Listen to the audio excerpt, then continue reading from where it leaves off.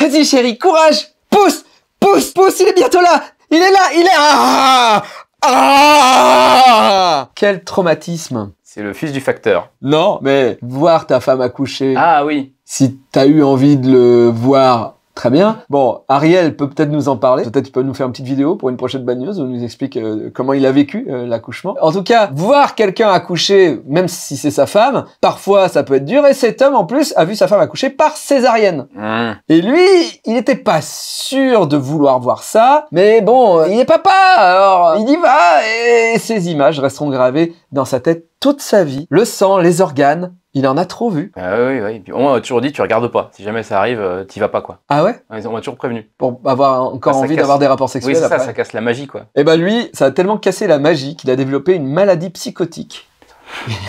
ah, j'en ai trop vu. Ah, c'était atroce. Ah, ah, ah. mais à l'hôpital, on dit mais ça s'est super bien passé, le bébé va bien, tout ça machin. Oui, mais pourquoi vous m'avez pas empêché d'assister à oh, oh, oh. Ça a beau bien se passer, il y a quand même, ça craque un peu tout le temps, l'épisiotomie, il y a toujours un peu de caca aussi, Ah bah oui, et puis des euh, fois ça ouvre entre euh, oui. les deux. Après t'as un Parce lien le- direct entre le vagin et le, et le caca, euh, le caca room. Oui. Le mec dit non, en fait ça m'a trop traumatisé, je vais pas en rester là, je vais faire un procès à l'hôpital pour euh, si parce que il a maintenant il a une maladie psychotique oui. à cause d'avoir vu sa femme accoucher. Pire, il est tellement relou avec ça que sa femme le quitte. Mm. Non seulement il fait un procès à l'hôpital en disant j'ai une maladie psychotique, mais en plus à cause de vous j'ai perdu ma femme. Tu peux être traumatisé, mais tu peux pas être un connard. Là, pour le coup, ça a été un connard vis-à-vis de sa femme. Elle a eu raison de le quitter, s'il Ah bah peut oui. pas supporter. Ah bah, euh, oui, oui. Et donc, il dit, putain, cet hôpital de merde, c'est encore sa faute, j'ai perdu ma femme. Allez, un million de dollars. Un milliard. Il demande un milliard de dollars en compensation. Bon, est-ce que ce monsieur a vraiment des soucis ou est-ce qu'il veut un milliard de dollars? Là, ça se demandait quand même. hein. C'est en Australie.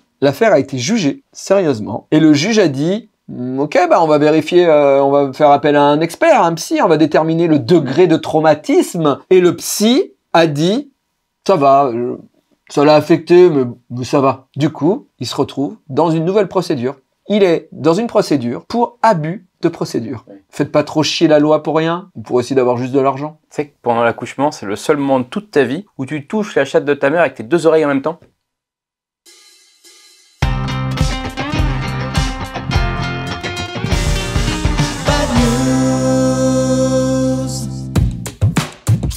Bad News vous présente le cabaret du Donjon Sigournay et leur spectacle Qui cabaret la porte de la cave? Ce spectacle, écrit et mis en scène par les membres de la troupe, raconte sous forme humoristique le quotidien d'une bourgade bien de chez nous, autour d'un lieu bien spécifique à la culture vendéenne, la cave. Les personnages les plus divers, du curé au facteur en passant par le chasseur et le voisin alcoolique, se succèdent dans cette cave, où règne en maître le rire et la bonne humeur. Et pour agrémenter tout, sketchs et histoires sont entrecoupés de chansons tirées du répertoire traditionnel français et interprétées avec brio par une chorale exclusivement masculine, accompagnée de deux musiciens. Le tout sur une durée de plus de 3 heures. La renommée de ce spectacle va rapidement dépasser les frontières locales et depuis cette date, les membres de la troupe font régulièrement voyager leurs barriques dans les communes environnantes. Et le succès ne se fait pas démentir puisque des séances sont programmées jusqu'en 2024. Ça va winner Merci beaucoup Ariel d'avoir survécu à la vue d'une chatte qui s'écarte. Bonjour mesdames, messieurs, transgenres, sans genre, mauvais genre, badonnette, bagn... Pardon Sandrine. C'est Bagnews, Bagnews, c'est l'émission de l'autre actualité. On n'est pas là forcément pour rire, mais pour faire un état des lieux de l'humanité et croyez-moi, une belle brochette de cons. Je vous rappelle que Bagnews, c'est l'émission qui affirme ne pas vérifier ses sources. Aujourd'hui dans l'émission, Sylvain. Bonjour David. Bonjour Sylvain. C'est vrai, on n'en a pas parlé dans la dernière émission, mais Ah. tu as changé un truc sur ton visage. Ah bon? Et quand tu es venu, c'est marrant parce que j'ai l'habitude de toi, t'en as partout. Oui. T'en as partout. Je suis sûr qu'il y a certains tatouages que t'as fait changer euh, dans le temps depuis que t'as commencé Bagnoul. Bah là, je suis ma deuxième couche. Je repasse sur ce que j'ai déjà. oui. Donc on a fait le dos Mais- euh, mercredi. Mais je pense que des fois, je passe à côté, je Ah le oui, vois oui, pas. Bon, là, c'est sur le visage, c'est un peu plus facile. Mais c'est bizarre parce que ton visage est quand même assez sombre maintenant. Mais dès que t'es arrivé, j'ai revécu ce truc de la première fois qu'on te voit, on a un petit blocage quand même. On est là, on est en train de de regarder tout pour pour chercher tes yeux, pour voilà Mhm. tout ça. Et après, avec le temps, on oublie carrément. Vraiment, euh, voilà. Mais là, t'es arrivé et à nouveau, j'étais gêné entre te regardant. Et dans ma tête, ça a fait un truc chelou. Je- Mais pourquoi je suis gêné? Je le sais qu'il a des tatouages, tu vois. Et c'est parce qu'en fait, mon cerveau était en train de scanner, en fait, pour voir les changements et a vu les changements. C'est bizarre quand même. J'ai été très gêné aussi, moi, quand on l'a fait. Quand tu te fais tatouer le visage, t'as beau savoir que ça va être perturbant. J'avais déjà une première couche sur le visage et ça m'avait déjà fait déprimer une semaine. Parce que t'as le visage qui gonfle énormément, Ouais. on trace les sourcils et tout. Donc la première fois que tu es dans le miroir, t'es Oh non, mais pourquoi j'ai fait ça, mais enfin? Parce que t'es es difforme. Là, pour Ouais. c'est Elephant Man. Après, les sourcils repoussent, la motif se termine et t'es bien et tout. Pour la deuxième couche, là, pour les, les lignes qu'on a faites, là, ça, ça a fait la même chose. Je savais que j'allais j'allais bader et effectivement, j'ai déprimé pendant une semaine. Je suis pas sorti de chez moi donc pendant une semaine. Donc je mangeais sur mes réserves et tout. Je me suis pas regardé dans le miroir pendant 4 jours et j'ai passé 4 jours horribles, quoi, déprimé et tout. Maintenant, c'est qu'on a fait 95%, donc euh, je suis content et tout. Mais c'est dès que tu touches au visage, effectivement, même moi, ça me perturbe. Bon, je comprends que l'environnement, euh, Oui, oui. Fallait jouer à Zelda, quoi. oui, On n'est pas tous égaux avec la taille de nos pénis. amen. Mais il y a autre chose de différent pour les personnes qui ont un pénis. 65% des zizi se dressent à l'horizontale. Bah non. Normalement, ça se dresse un peu en haut parce que le vagin, il est un peu vers le bas et 65% à l'horizontale. Ah bon? 15% vers le bas et 15% contre le ventre. Donc tu fais partie a priori des 15%. Non mais tous, on a, c'est pas, c'est pas contre le ventre, mais c'était tous un petit peu. Un peu levés, vers le haut. ouais. Mais vers le bas, comment ils font? Il faut se mettre à l'envers? Enfin, Bah peut-être qu'en... parce que c'est un coup à se rompre le. Ah bah dites-le dans les coms, on est hyper intéressés. Vous êtes-vous rompu le corps spongieux Mais toi qui es prof, Ah, si je te dis 65% à l'horizontale, 15% vers le bas, 15% vers le ventre, euh, ça fait 95, il reste 5%. c'est les gens qui n'ont pas d'érection. Ah merde. Après, il y a des solutions maintenant. Il y a des solutions, effectivement, pour donner des orgasmes. C'est le Sauna 2 de chez Lelo. Vibro masseur pour clitoris pour une recherche des orgasmes intenses, plus longs, plus forts, fabriqué en silicone sûr pour le corps et parfaitement étanche. Il est conçu pour vous offrir des orgasmes répétés et puissants. Il est doté de 12 modes de vibration de différentes intensités. Coupure pub d'une coupure pub parce que Lélo vient de m'envoyer un mail pour Noël. Une promo pour vous de ouf. Pour l'achat d'un Sona de Travel ou tout article de chez Lélo, la promo de Noël c'est avec le code BNBF, il y a 10% de réduction sur toute la boutique Lélo, même sur les toys déjà en promotion. Vous avez un toys qui a 60% de réduction. Et vous, Badounettes, vous avez le code BNBF de Bad News avec 10% de réduction, moins 70% de réduction. Pour un achat supérieur à 159 euros sur votre panier final, vous avez un rouge de lèvres offert par Lelo. Et en plus, ça va être Noël. Vos amis, vos amants ou vous-même, vous avez besoin d'un sextoy. Cliquez en dessous et le code c'est BNBF. Joyeux Noël, dildo. Ho. Dildo. T'imagines comme le, le 21e siècle a été euh, trop bien pour les femmes, quoi. Avant, elles avaient pas le droit, elles elles faisaient de l'amour que pour les enfants en 5 minutes et tout, et puis maintenant, euh, un monde de possibilités. Et le. Covid surtout. Le confinement a ex- fait exploser les ventes euh, des, euh, des sextoys. Donc le Covid et le 21e siècle. Oui, mais par contre, messieurs, si vous avez des problèmes d'érection, c'est pas une honte, et il y a plein de solutions qui existent maintenant. Ah, tout à fait. Il y a les cachets, il y a les pilules, et au pire du pire, maintenant, tu sais, les, bah, notamment ceux qui se font poser un sexe, les transgenres et tout, ils, se, ils mettent des pompes carrément, Oui, oui. euh, que tu gonfles et tout, donc euh, faut pas avoir peur d'en parler, parce que plus vous en parlez vite, euh, c'est comme les problèmes au niveau. de- J'ai un, j'ai un ami qui avait pas osé en parler. Ouais. Il a attendu ses 18 ans pour aller chez le médecin pour couper un petit bout. Parce qu'en fait, quand il avait une érection, le câble Le était frein. trop court. Ouais. Et donc, il, il avait une érection en crochet. Ok. Du coup, Il osait pas en parler, mais sa vie, elle était horrible. quoi. Et puis, t'imagines la douleur quand t'as une érection. qu'il juste, il a fallu qu'il aille voir un médecin. Le médecin a fait un truc genre, ting, quoi, tu vois. Les Mais- médecins, ils ont toujours vu pire, de toute façon. Oui, Donc, oui. euh, Mais il y a certains médecins qui te jugent, et ça, c'est pas cool. Moi, j'ai vécu ça. euh, J'ai eu des crêtes de coq à une époque. qu'est-ce Euh, que c'est? C'est euh, une sorte de verrue sur le pénis. Ok. Ça s'enlève comme euh, des verrues, c'est-à-dire ça se gèle en fait. Ok. Mais vraiment, il y a un truc de où vous êtes allé traîner. Ah, Tu vois, j'ai vraiment ressenti ça, alors que vraiment, j'étais euh, avec quelqu'un depuis euh, pas mal de temps. J'avais une vie putain de classique à ce moment-là. Du coup, la personne est partie du principe que j'allais dans les backrooms. Bon, Et c'est pas cool. C'est vraiment pas cool. en Ile-de-France, on a quand même moins de problèmes qu'ailleurs. Bah, moi, c'était en. Ile-de-France. Et Notamment euh, la pilule du lendemain, euh, quand les nanas y vont, elles se font extrêmement juger. Donc moi, à chaque fois, c'est moi qui y allais. Et euh, alors, on parle même pas de l'avortement, parce que si t'as un médecin qui est un peu euh, traditionnaliste, il fait des commentaires et tout. euh, donc euh, on est en 2023 certes, mais il y a encore deux trois progrès à faire. euh. Ah, ça c'est sûr. En bref, En bref. il fallait que tu sois là pour qu'on parle de cette bagnos qui parle de tatouage. Ah, c'est original. Et c'est un record du monde. Ah, Un Anglais qui détient ce record depuis 2017. Mark Owen Evans, ça te parle? Non. Il y a des retournements de situation dans cette bad news. Il y a une guéguerre. entre gens tatoués. Ça, c'est souvent. hein. Mais Une c'est sorte de petite euh, guerre. Oui, je suis le meilleur, je suis le premier, je suis le numéro un du monde. C'est ça. Bah là, ils veulent un record. Oui. On arrête le suspense. Quel est le record? Alors, il, s'est fait tatouer le plus grand nombre d'heures d'affilée, un truc comme ça? Le plus grand nombre, c'est bien. Ah, c'est pas d'insectes ou, euh, ou de- d'os ou de. Non. Ok. Alors, le plus grand nombre de mecs en même temps? Non. Non. Le plus grand nombre Qu'est-ce que c'est? De signature Non. Lucie? Oui, c'est Lucie. Le plus grand nombre du même prénom inscrit sur un même corps. C'est pas beau. Chacun fait ce qu'il veut. Mais, mais de mon avis, c'est pas. voilà. Oui, mais combien de fois on t'a dit que toi, c'était pas beau? Jamais. Ben, Jamais. Dans les commentaires que j'efface, il y a des gens qui disent Ah bon? Mais Ah bah c'est ouais. pas beau, pourquoi il fait ça? Bah, bah oui, mais parce que c'est pas bien. On me dit pas que juger. c'est pas beau. On, on- fait des rapports par rapport à la religion, machin. On me dit que je suis fou, tout ça. Mais c'est rare. C'est très rare les, les jugements esthétiques en fait. C'est plus sur. Ouais, je pense que si tu vas dans le sud de la France, euh, bon, il, bon, il est pas beau, tu vois. Bon, bref. c'est le prénom de Lucie, c'est le prénom de sa fille, et donc euh, parlons de cette guéguerre de prénoms. En 2017, il avait ce prénom tatoué 267 fois sur son dos. Mais il a été détrôné en 2020 par Diedra Vigil, qui s'est fait tatouer son propre prénom. Ouais, c'est narcissique. C'est. Un petit peu. 300 fois. Donc, ça, je sais pas, je l'ai Ouais. pas. Mais en tout cas, le mec a 300 fois son nom à lui sur lui. sur le front. C'est chelou quand même. Et là, Marc, il a fait Ah non Ah, il veut jouer Il va voir son tatoueur et il lui dit Allez, au boulot, ma couille! Cinq heures plus tard, il s'est fait tatouer le prénom de Lucie encore et encore 200 fois à chaque jambe Ce qui fait, si on fait des calculs 600. 267 dans le Ah. dos, 200 à la jambe droite, 200 à la jambe gauche, 667 fois le prénom Lucie sur son propre corps. Parce qu'il a pas dû vouloir faire 666. En plus, Lucie Lucifer, il Ah, doit y bah, avoir oui, un truc et comme puis c'est ça. sa fille. Oui, oui, oui. Donc c'est quand même tout ce qu'on peut espérer maintenant pour lui, c'est que bah il est pas un autre enfant. S'il a un autre enfant, l'autre enfant va dire mais pourquoi t'as le prénom que de ma sœur euh, sur ta jambe? Donc il va être obligé de faire le haut du corps peut-être avec 667 fois le prénom euh, romain, euh, je ne sais pas, tu vois. On leur souhaite d'arrêter cette bataille. Il y a toujours des favoritismes de toute façon. Moi, je sais que je suis l'enfant préféré de mes parents, par exemple, par rapport à ma sœur, donc euh, c'est moins. Brigitte? Oui. Bravo, Brigitte. à le point. À le point. Le point de vue. Le, le point avancé, monsieur. le, point, le point de bienvenue. Le point de. Le, le, Rémi. Le, le, le, le lever de point. Le lever de rideau de point. Mais j'y arrive pas quand je suis là, c'est fou.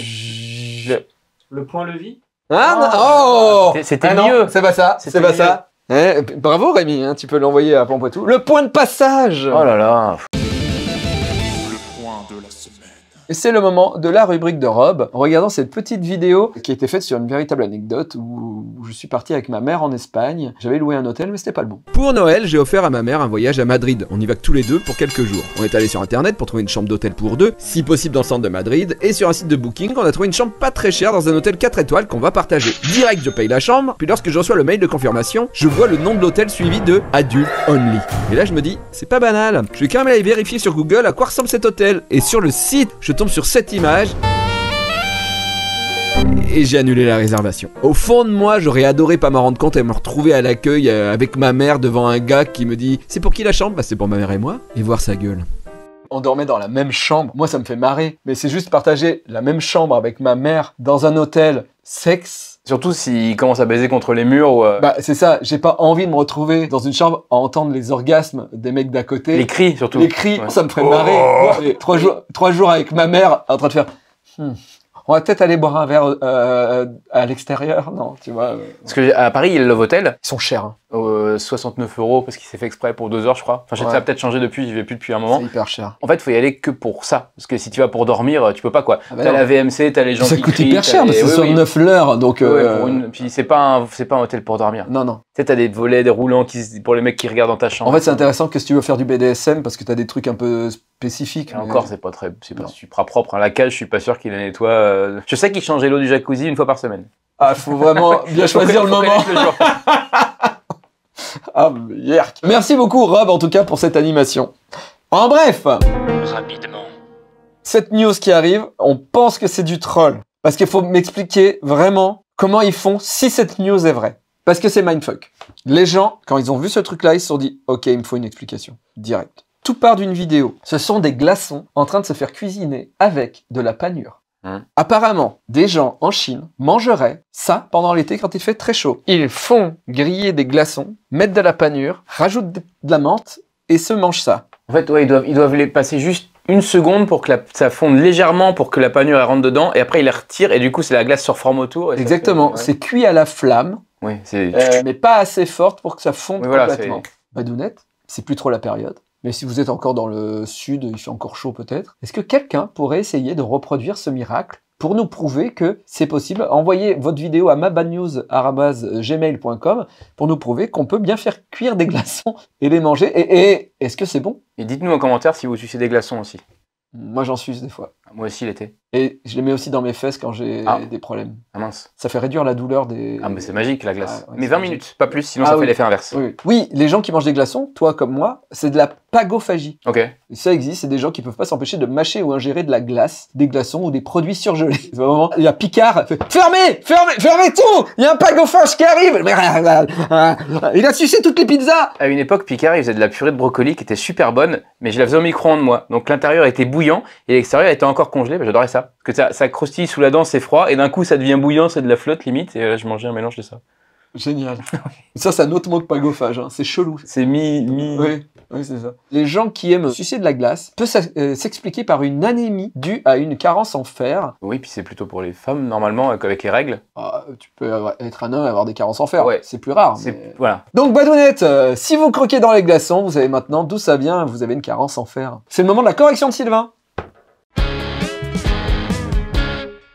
Bonjour les badounettes. Bonjour, maître. Davy commet-il un impair dans la Bad News 232 peu après la barre des 10 minutes? Tout le trajet pour aller à la campagne, avec tous les trous, avec tous les cailloux, réouvre les blessures d'Emma. On ne réouvre pas quelque chose, on le rouvre. Certes, on dit la réouverture et non la rouverture. Imaginez en plus euh, rouverture, est-ce que c'est roux, est-ce que c'est Meilleure blague de la journée. Réouverture donc, mais le verbe c'est rouvrir. Étymologiquement, il y avait bien un E entre le R et ouvrir, rouvrir, mais il était muet, donc c'était rouvrir depuis le début. Et ce E a juste sauté par mesure de commodité. Mais tranquillisez-vous, brave badounette que vous êtes, poil à la, poil à la tête, cheveux. Donc c'est loin d'être un cas isolé. Animé, le verbe en ER. Non, pas les dessins, rendormez-vous. Tiens bah, rendormez-vous. Et pas réendormez-vous. Animé donc, disais-je. Ça donne ranimer ou réanimer. Alors là, c'est particulier. Ça veut pas dire la même chose. On ranime un feu, on réanime une personne qui bah, était dans le feu avant, par exemple. On ne rentre pas quelque part, on entre quelque part. Ou alors on sort et après on rentre. Et non pas on re-rentre. On ajoute quelque chose, on le rajoute pas. Sauf si on a déjà mis avant. Genre du blanc dans une peinture, du sel dans un plat ou du sperme dans-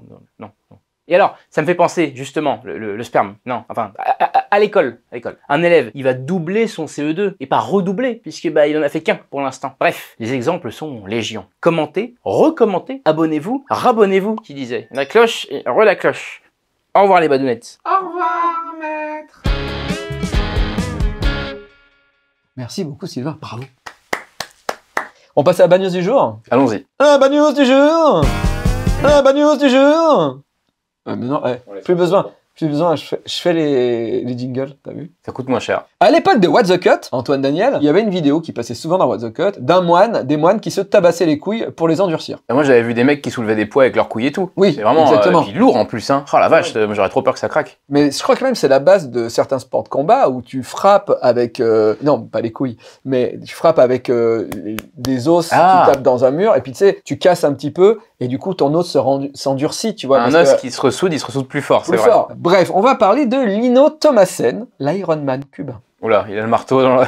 Le marteau, il l'utilise contre lui-même, puisque euh, on découvre des vidéos qu'on peut pas vous montrer, mais vous pouvez chercher sur internet, des vidéos où il s'explose littéralement les coudes et les poings sur des murs en béton, Ah, les coudes, j'avais entendu les... les coudes et les poings sans se blesser. Ok. C'est-à-dire qu'il projette à grande force les parties de son corps contre des murs et il n'a rien. Aujourd'hui, il est capable de se donner des coups de marteau partout dans le corps sans que ça ne lui fasse quoi que ce soit. Il le fait en public et demande aux gens de le frapper avec le marteau pour prouver que c'est pas du fake. Et pour dire, vous voyez, j'ai rien. Faut faire attention quand même avec ces trucs-là. C'est comme les mecs qui disent qu'ils sont magnétiques, qui se collent des, des fourchettes et tout. En fait, c'est parce qu'ils ont la peau grasse. Enfin, il y a tout le temps des, Oh. des trucs un peu comme ça. Faut faire attention. Mais Houdini est mort de ça. Et Houdini, je crois qu'il, je crois que c'est Houdini. Il y a un magicien qui faisait ça, qui faisait tout le temps, il se faisait frapper par les gens en disant, j'en sais rien. Et je crois qu'il il il y a quelqu'un qui l'a frappé très fort avant. Il a dit, ah ouais, il a donné un gros coup, il a fait, Ouais, tout va bien. Et à la fin du spectacle, il est mort, il a fait une péritonite, je crois, ou un truc comme ça. quoi. Donc, oui, faites gaffe, quoi. Quand il fait des pompes, Il le fait avec quelqu'un sur son dos pour prouver que voilà. Ça, ça, ouais. Mais pourquoi est-il artiste de rue si il peut taper des murs et que ça lui fait rien? Pourquoi il fait pas de la boxe ou du MMA Parce que le, le MMA, le mec, il répond en face. Oui. Alors que le mur, il... Il répond pas. Et ben en fait, voilà l'histoire, l'origine story que nous propose l'Ironman cubain. Lino est boxeur à la base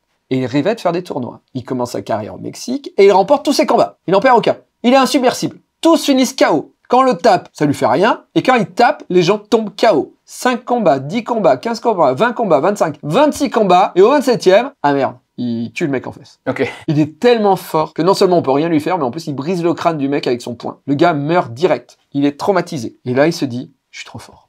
Je suis trop fort, j'arrête. Il prend tout l'argent qu'il a gagné jusqu'ici et donne tout l'argent à la famille de la victime. C'est noble. Et il leur dit, je vous jure, que je ne remonterai jamais sur un ring de ma vie. Et il s'y tient. Voilà, c'est pour ça qu'il est dans la rue. pour ça qu'il se tape les coudes se et- tape les couilles pour gagner de l'argent. Il y a des gens qui ont tenté de le faire remonter sur des rings, des milliers, voire des millions de dollars, et il refuse à chaque fois pour tenir sa promesse. Alors, est-ce que c'est vrai? Parce qu'il semblerait que beaucoup de cette histoire vienne de lui. Oui, mais forcément. Mais il semblerait qu'il y ait plusieurs sites qui relatent la même chose, plusieurs journalistes qui relatent la même chose. Pampoitou a cherché, il n'a pas trouvé cette personne morte. Il n'a pas vu d'article qui dit Mm. un homme a tué un autre homme, etc. On ne sait pas si c'est complètement vrai, mais en tout cas, moi je dis ça fait un film à Hollywood. hein. Mais la fin est un peu nulle. Et passe- ça se passera pas à Cuba? Il le, il le mettra Oui. à Los Angeles. ou- Oui, et il serait blanc le gars. Euh, Ah, pas sûr maintenant. Oui, c'est vrai. Ouais. Il sera américain. Américain, ça c'est sûr. Oui. En tout cas, on peut toujours aller le voir hein, dans les rues et vous pouvez lui donner des coups de marteau. Euh, voilà. Donc si vous passez dans son pays, euh, faites une petite vidéo, ça ferait plaisir à Bad News. Merci beaucoup Sylvain, on se retrouve. déjà fini Bah oui, mais tu reviens en décembre, Avec plaisir. le 5 décembre. Bisous à bientôt, mardi prochain, 17h45. Ciao.